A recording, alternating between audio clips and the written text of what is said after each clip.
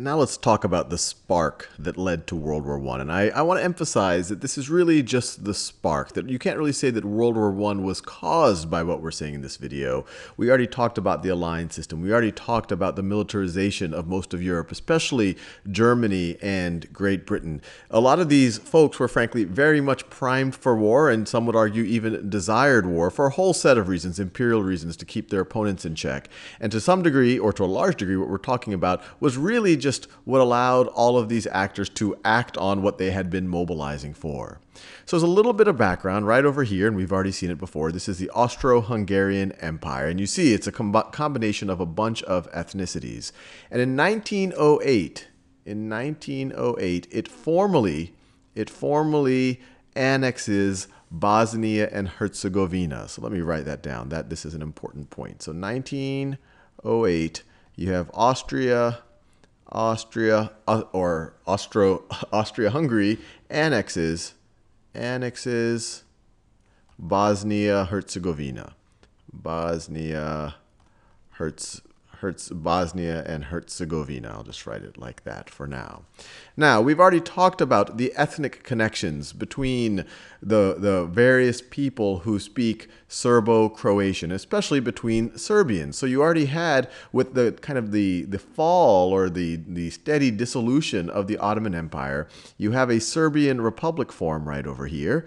They have the same language and religion and consider themselves the same people as a significant fraction of the folks living in Bosnia and Herzegovina. About a third of the population in this country are Serbian and Eastern Orthodox. And then, of course, the rest of uh, the dominant religion here, or not the dominant, I would say the close to half of the people were, are, were Bosniaks or Muslims. You also had a significant Croatian population, but all of them had the same linguistic tie. So you can imagine there was a lot of desire to unify this, and frankly, a lot of anger at Austria Hungary for kind of splitting them apart and taking over uh, or kind of ruling over the people who were so close to them, had ethnic and religious ties.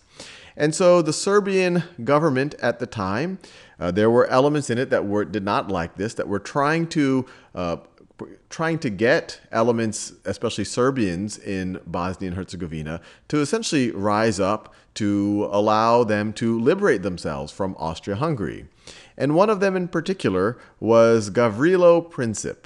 Gavrilo Princip, and this is a quote from him well, later on after he had been arrested, and we'll see why he got arrested in a second. And he says, I am a Yugoslav nationalist, aiming for the unification of all Yugoslavs, and I do not care what form of state, but it must be free from Austria. So up to this point, even though you had these linguistic and ethnic connections, and obviously you have some religious differences, but this linguistic connection amongst the people, these southern Slavic states, it had not been unified before. And when he's talking about Yugoslav, the a Yugoslav nationalist, he's talking about the southern Slavic states. He wants to form them into one nation. And so on June 28th, this is one of those super famous dates in history, on June 20, let me just say this is in 19, so all of what I'm going to describe now all happens in 1914. And to some degree, the rapidity which it, with, it, which, with which it happens kind of speaks to the fact of how primed Europe was for war. So 1914, June 28th, you have the Archduke Franz Ferdinand and his wife Sophie visit Sarajevo. So this is Sarajevo right here in Bosnia, right about right about there on this map as well. And Archduke Franz Ferdinand, he's the nephew of, of Franz Joseph, the current, I guess you could call him the emperor or, or the ruler of Austria-Hungary, and he is the heir to the throne. He is the heir, he is the heir to the throne. So you can imagine Gavrilo Princip and his co-conspirators were eager to do something here, and in particular, they they planned to assassinate Archduke Franz Ferdinand. And actually, the the details, and I'll maybe make a future video on it. The details of the assassination are fascinating. They essentially failed. They botched the assassination, Gavrilo and his co-conspirators. And then later in the day, Gavrilo Princip was just hanging out. He had essentially given up. He was eating a sandwich at a cafe, and because of a mistake made by those by the folks planning Archduke Franz Ferdinand and his wife's route. Gavrilo Princip saw his car coming, and then when they realized they had made the mistake in the route, they started backing up. The engine stalled, and then Gavrilo Princip essentially just walked, put his sandwich down, walked up to, to the car, and shot Franz Ferdinand and his wife and, and assassinated them. So, this is essentially what most people point to as the spark that triggered World War I. And the reason why that is, is that immediately already the Austro-Hungarian Empire they were they were kind of peeved at all of this unrest that the Serbians were causing the Serbian nationalists to try to break up but to try to separate the southern Slavic states from Austria-Hungary. Now they've killed the heir to the throne and so you essentially have an ultimatum given by Austria to Serbia to say, look, unless you completely renounce all of this and have 100% guilt, we, you know, we we we're to we're going to take some action. And actually Serbia was not keen Serbia was not keen to get into a war with a major power in Europe, and so that for the most part they were like, oh well, you know, we're going to look into this and, and all the rest. They didn't, they did, they weren't really kind of uh, uh, kind of beating the drum beats. But Austria-Hungary was eager to kind of say, hey, look, we can we can we can deal with these characters right over here, and so Austria-Hungary did not find how Serbia uh, Serbia's uh, acceptance of guilt acceptable, and so in July 28th or July 28th. Let me write this. This is assassination, assassination of Franz Ferdinand, Franz Ferdinand, and his wife Sophia, and or Sophie, and Sophie. So on July 28th, Austria, Austria-Hungary, the Austro-Hungarian Empire is not happy with uh, uh, essentially Serbia's apology or acceptance of guilt or whatever you want to call it, and so they declare war on Serbia declare war on Serbia. And up to this point, they're like, okay, look, we Serbia is a relatively small state. They are very closely aligned with the Russian Empire, but the the Austrians at this point said, well, you know, the, the, Russians aren't going to try to get into war with us over this. We have, you know, a, a reason to disagree with what's going on.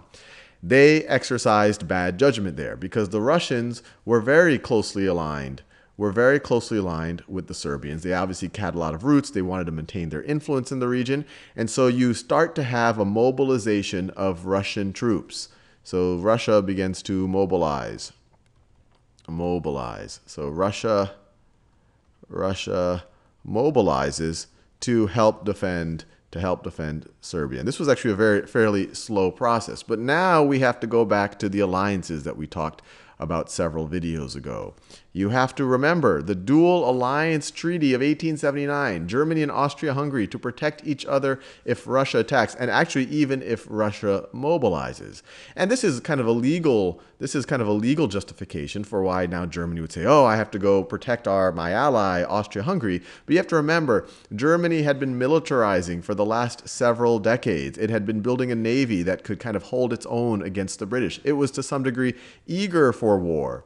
And so and so very quickly, and the, the rapidity at which this has happened shows how eager Germany was for war at this point. So literally, literally three days later, August, August the 1st, Germany declares war on Russia. Germany declares war on Russia. And now we have to go back to the alliances. We have the Franco Russian military convention that says military assistance both ways in the event of an attack. Now, Germany is aware of this. And so Germany says, look, why do we have to wait for France to fully mobilize? Let's also, because France is going to try to try to get into a war, and we're right in the middle between the two. So Germany, two days later, on August 3rd, August 3rd, declares, so Germany declares war war on France. Now, at this point, Germany does not really want to get into a war with the British Empire. The British Empire has a very powerful navy. It's kind of the, the other extremely strong power. Eh, but Germany is kind of aware of this of the treaty, this this Treaty of London in 1839, this 75 year old treaty, and it, it, it actually has contact with the British and says, look, as we go, if we attack France, we're probably going to go through Belgium. That's the, the, the fastest and easiest route through France. You know, you, you don't really take this this this treaty of London, the 75 year old treaty, seriously. This fact that you're going to have to protect Belgium, and the British, who you could argue also had a very strong military footing, um, said no, we we do take that thing very seriously. So Germany very quickly moves into Belgium in order to attack France, and that gave that gave the British Empire, gave the British the legal justification to then declare war on Germany. So let's see, August 4th, August 4th, Germany, Germany invades. So the Germans were quick to action. I mean, between the declaration of war on Serbia on July 28th, we're talking about six days later, Germany has invaded Belgium. So they were ready for this. Germany invades Belgium, and then this gives the justification for the British to declare war on Germany.